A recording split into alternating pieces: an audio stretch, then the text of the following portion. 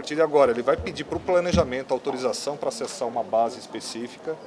Se essa base já for pré-autorizada, ele já tem um acesso no outro dia, se não, o planejamento vai negociar o acesso junto ao gestor. No, assim que conseguir o acesso, a autorização do acesso, ele tem as, todas as ferramentas, todos os dados, toda a tecnologia necessária para que ele traga uma base do ministério dele. Vamos exemplificar. O Ministério da Saúde tem uma base de pacientes com determinada patologia e ele quer saber essa patologia cruzando com informações de outras áreas do governo, como, como localização, geolocalização ou é, produção de, alguma, de algum medicamento, aonde ele faria o investimento, aonde estariam cruzando esses dados, aonde esses dados seriam compatíveis para que ele coloque, seja ou na urgência, ou no recurso, ou no esforço, o melhor recurso para atender aquele cidadão. Então, essa é a ideia de, da agilidade, reuso, principalmente reuso. Hoje, é, cada ministério precisa de uma base como CPF. Então, são 14 replicações de base de CPF que fica transitando pela esplanada. Há um risco nisso aí? Há um risco. Há um, um gasto duplicado? Há um gasto duplicado. Então, quando colocamos tudo num, num único ambiente, seguro, controlado, e com as tecnologias e com as ferramentas, o tempo de, de execução de uma política pública é muito mais rápido. E com isso, uma prestação de serviço melhor para a cidadania. Alguns ministérios que têm uma preocupação muito grande com sigilo fiscal ou um sigilo qualquer do cidadão, ele está conhecendo a ferramenta, ele está conhecendo os mecanismos de proteção e ele preferiu fazer o acesso individual até que ele tenha certeza que a, que tá, a ferramenta, o ambiente atenda a todo o, o, a política de segurança daquele ministério. Mas a gente tem, tem assim, dentro do nosso, do nosso roadmap, que a autorização seja pré para todos os ministérios, principalmente para os ministérios aqui de finalísticos e política pública. Quem efetivamente começa a ser liberado esses dados? Já tem um o, contra, o contrato foi assinado hoje pelo ministro, está sendo encaminhado para o SERP DataPrev. Segunda-feira a gente vai começar um workshop para mostrar a potencialidade da ferramenta, como é que se usa. Nós temos que mostrar o, metadados desses dados, quer dizer, onde eu encontro renda do, do, cidadão, aonde eu pego o nome da mãe do cidadão, aonde eu pego a data de nascimento, porque nós temos vários cadastros com várias informações conflitantes. Então, nós vamos fazer esse workshop, mas segunda-feira, Luiz, se alguém já tiver um expert em cientista de dados ou política de dados, ele já pode acessar a ferramenta. A título de, de exemplo, o, o, Ministério do Desenvolvimento Social e Agrário fez o piloto da ferramenta com a gente. O que ele demorava 40 dias para fazer uma análise entre beneficiários, renda, família e outras informações, a gente faz em um dia.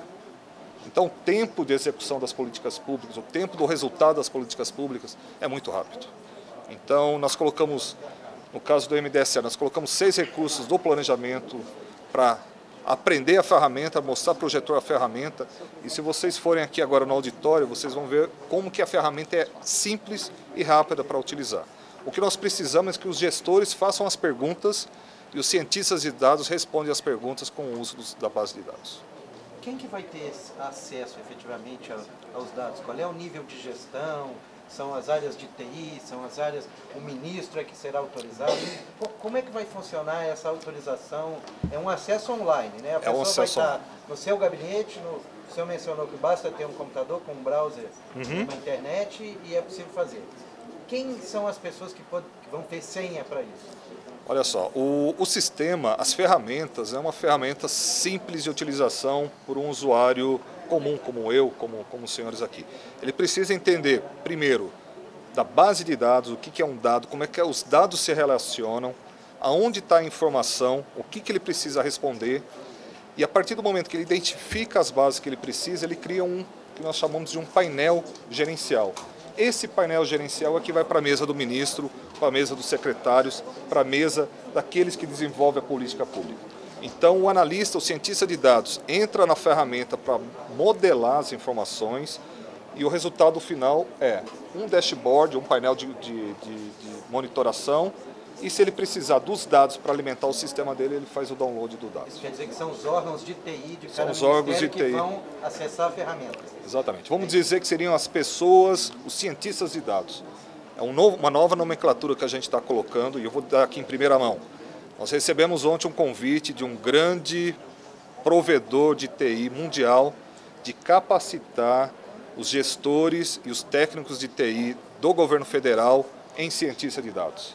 Então nós vamos ter até o final do ano, pelo menos em cada ministério, dois ou três pessoas especializadas no manuseio e geração de informação estratégica. Nós estamos trabalhando como é que essa informação, como é que esse dado pode ser utilizado pela sociedade. E como que ele vai ser utilizado pela sociedade? Para melhorar o crédito, para melhorar ações que a iniciativa privada faz prestando serviço para o cidadão.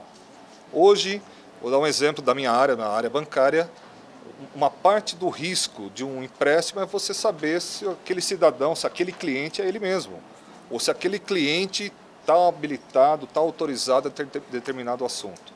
Então, com o GovData e outras ferramentas do planejamento, eu vou conseguir certificar, vou conseguir dar uma garantia maior para esses entes privados, para que eles diminuam, em contrapartida, o, o, o, o preço do serviço prestado para a população.